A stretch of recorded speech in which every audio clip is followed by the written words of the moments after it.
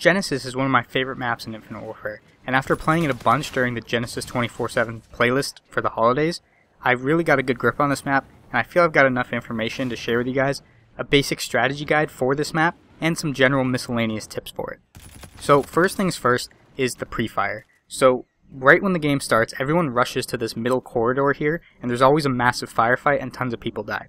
And like I said, people love to just rush right into that hallway and take their chances with living or dying and that's definitely not what you want to do. So if you spawn on this side here, like I talked about in my cover video, really try to use this wall and this sort of box here as that cover and use it properly to your advantage. And as you can see here, you can use that wall a little on your right, and you can crouch behind that box. I mean, the enemy's only going to barely see some of the right side of your body, maybe part of your arm, and they're going to see part of your head. So you're pretty much going to be impossible for them to hit unless they're using a very accurate gun and snap onto you very fast, while you have a perfect line of sight of that corridor and can hit a lot of people.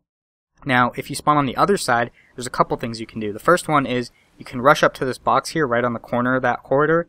This is a little harder to do because by the time you get up there, enemies are already in that corridor, so it's a little more risky. But again, you can use that cover properly, sort of crouch down behind it, you know, make yourself a smaller hitbox.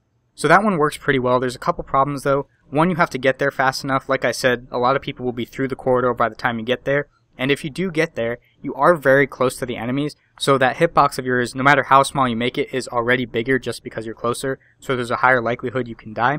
So the other way to approach this pre-fire is my preferred way, is to go up on the right side of these stairs here, and go on this piece of metal, and kind of use that metal along with the stairs as your sort of head glitch to sort of, again, make your hitbox smaller and work off that pre-fire a lot of times when I do this one and the one on the other side, I'm able to get four or five kills just to start off the match. So aside from the pre-fires, the main strategy of this map is to get people trapped in this building here, and they're going to spawn at this main spawn point I'm looking at right now.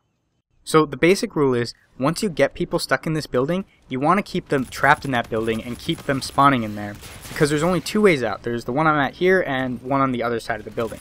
And the main rule is that if you walk into the building or you look into the building the wrong way, the enemies are going to spawn on the other side of the map.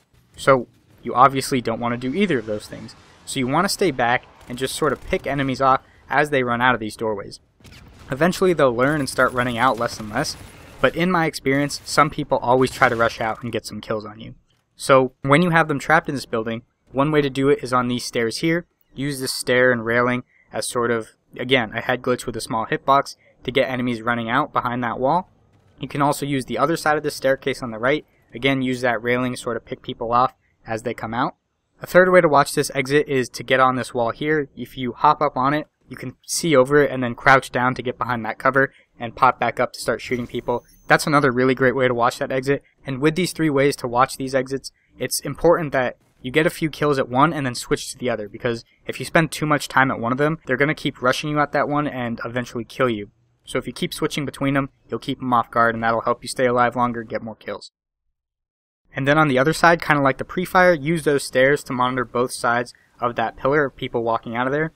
And yeah, that's pretty much it. That's how you want to keep people trapped in this building. It's just as important to guard one exit as the other, and remember, don't go into the building and don't look into the building, because then they'll spawn out.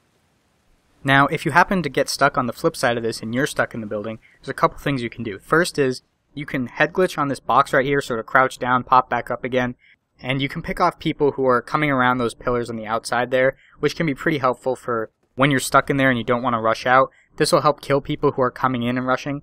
And another strategy when you're stuck in this building is, like I showed you on the stairs on that right side, people love to camp there to sort of shoot people who are coming out. So what you can do is, you can run around this right pillar and boost jump onto this circular pillar and pop right out onto those stairs and get those people by surprise, or walk around to the other side of those stairs and get those people too. Another way to get out of this is for the other exit.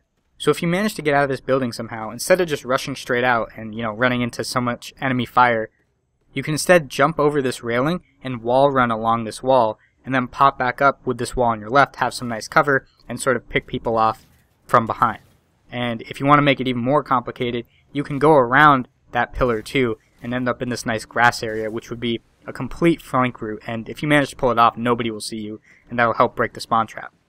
And one final last ditch thing you can do to break the spawn trap is If enemies are rushing in, let them rush in, because like I said before, if they're in the building or they're even looking in the building for an extended period of time, your team's going to spawn out. So if you can't manage to do any of those other things, just try to draw people in and let them come in. That way you have a higher chance of spawning out. Now, a couple other things here. In this red building, instead of running through it, like let's say you know that there's an enemy on the other side waiting for you to come through, or there's an enemy in the building waiting for you, instead of running straight through, what you can do is you can boost up and run around the outside of the glass here. So there is that glass and they can see you through the glass, but if they don't know about that spot, they might not be looking for it and you might be able to get around. That can be useful in a bunch of different situations. Another thing you can do is in this red building, if you're playing like Infected or something, you can start boosting up on this middle glass pillar thing here, and then you can boost up to the top one and just keep running circles around the top. And if you're playing like Infected or something, or you're just trying to hide from people, that's a nice way to do it. And then one final thing that I talked about in my cover video, you know, instead of running out through into these corridors, again, try to use some of those boxes, try to use those stairs to your advantage. Instead of running and standing at the top of them where your full body is exposed, try to stay at the bottom of them and kind of just slowly peek your head up and down.